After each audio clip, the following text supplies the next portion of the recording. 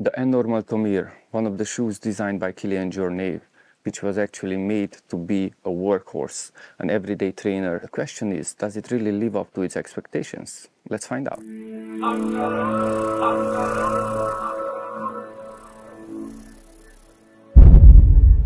Aloha guys, this is Nandor from Hungaro Explorer and today I'm gonna talk about the NNormal Tomir which was tested in the last two months so it's gonna be more like a long-term review I have a couple hundred miles in it. I took it out to different kind of terrains from Spain's rocky mountainous areas to Romania's wet and muddy terrain.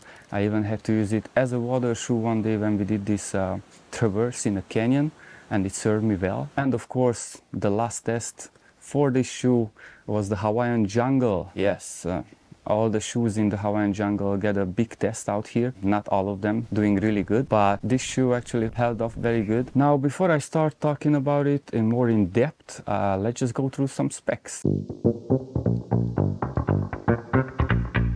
The upper material of the Tomir it's made of TP ripstop, which is very abrasion resistant, so it helps with the durability of the shoe. The midsole of this shoe is an EVA 50 low density foam, which actually sewn into the upper, which helps again with durability. The sole is a Vibram Mega Grip Litebase, which has 33 lugs, each 5 millimeters. That definitely helps with traction on all kind of terrain. The front stack height is 23 millimeter and the rear one is 31 millimeter, which equals to an 8 millimeter drop. The weight of the shoe in my size, which is 9 US, is actually 276 grams.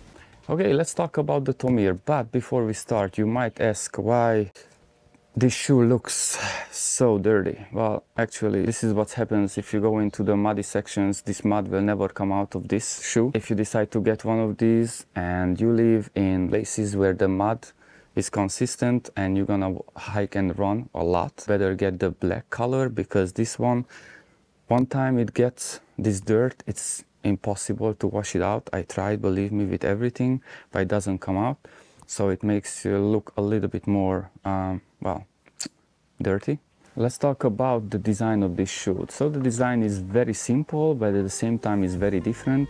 First when i thought about uh, Kilian Jornet's first shoe I was thinking it's gonna be more of a Salomon style shoe but I was very surprised when I saw this one and I tried it on because it has a very loose toe box uh, not really specific to Salomon but I really like that one in here. The upper is made of this TPE material which is very strong and is durable. It's probably the key point of this shoe, durability, but we get back to that in a moment. The upper actually is reinforced all the way around in the front by the toes and on the bottom closer to the midsole so that makes even more durable. They chose to use this uh, unilateral lacing system which is supposed to help you to better fit the shoe. I don't have any pressure points which is I think that was the purpose of doing this unilateral lacing system. It works but uh, I don't feel like anything special about it. It just looks different. It features a gusseted tongue which definitely helps keeping the dirt out of your shoe. I think the midsole of the shoe actually uh, sets this shoe apart from the Kjerag because it's a very different uh, thicker midsole. But when you look at it, you might think, oh, I'm gonna have a lot of cushion on this shoe, which is not really true. You have some cushion, but not too much. As you can see, it's like very stiff. And if you think that, you know, running 50 miles or 100 and then it's gonna soften, it actually doesn't do it. The midsole is the same firm as uh, when I started. So actually what is very cool about this shoe, they sew the midsole to the upper, keeps it more together, actually makes it way more durable. I don't know why other companies don't do that. That's a very good idea. One of my favorite things about this shoe is the sole and the traction.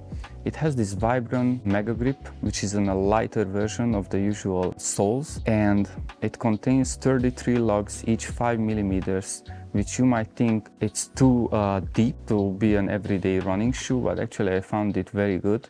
Well, of course, on the trails, you don't want to run with this shoe on the concrete or on the road because it's not too comfortable. I tried it. Um, no, this made for the trails and the traction works really great on a lot of different surfaces. I hiked a lot and I ran in uh, Picos de Europa National Park, which is in Spain. It was a lot of wet and rocky terrain. The traction was just really awesome. Here in Hawaii, I found it working pretty well.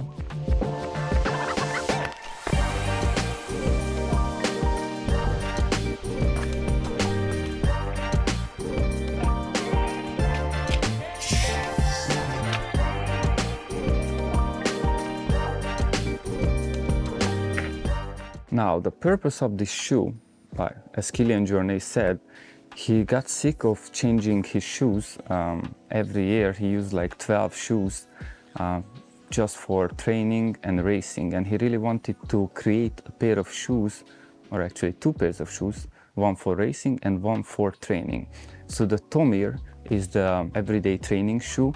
And for this purpose, he really wanted a shoe which can be durable enough to be used for long term, right? This shoe is kind of a tank of a shoe to tell you the truth.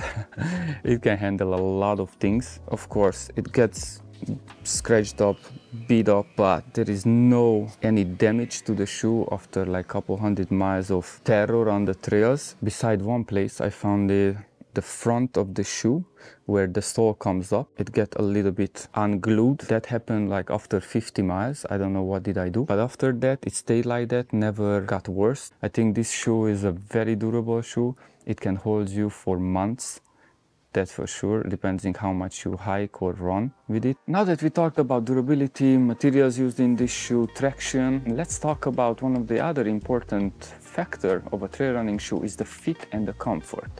So it's really important that you are very comfortable while running, you have a nice fit in your shoes so you can do your best performance. Now this is the place where I feel like this shoe might need a little bit of tweaking. So when I got the shoe, I tried two different numbers, the eight and a half and the nine. Usually I wear nine in every shoes. So I thought nine would be the one. And actually I got the nine by the end, but I feel like the eight and a half would have been a better choice. So a little bit smaller. This one feels a little bit too loose and I might it might be a little bit too big on me. Actually, this shoe, even with the insole, is, is pretty flat. So if you have trouble with your arches, you might want to consider an extra sole, which support your arches a little bit better. What I totally forgot to mention is the toe box of the shoe. The toe box is pretty wide and then you have a lot of space for your foot to play around in it. So it's not like a typical, you know, Salomon shoes, which is a more narrow or a La Sportiva. It's more roomy more space for your foot to expand when it needed. Still some reviews they say that it's still not wide. I think for me it's actually very wide. Maybe I have a narrow foot, I don't know. I really like La Sportivas and Salomon, so maybe maybe just for me fits the toe box fits wide, but definitely wider than expected from Kilian Jornet's first shoe.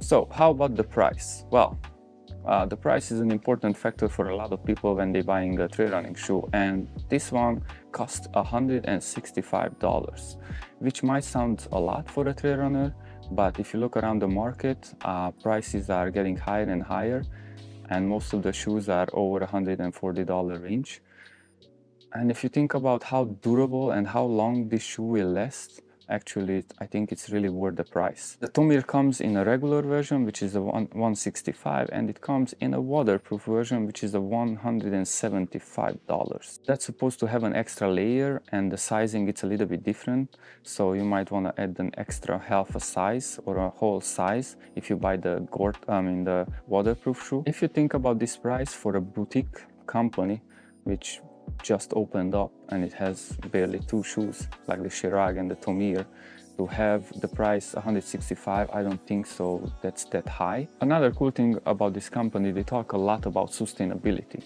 They actually want you to send back this shoe after you used it for a long time and you don't need it so they can redo it and then give it to some people who they really need it which is amazing. Like uh, maybe other shoe companies could think about stuff like that. Now I kind of see after using this shoe for a couple months why uh, Kilian Jornet said this is a workhorse, like an everyday trainer.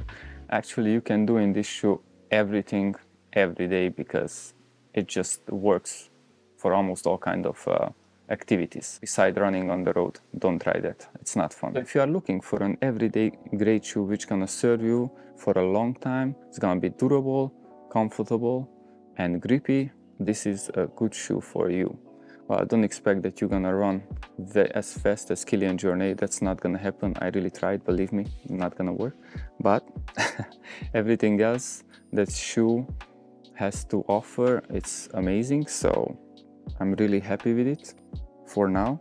And let's see how it goes in a couple hundred more miles. I hope I helped you decide to buy or not to buy this shoe. and see you guys next time. Aloha.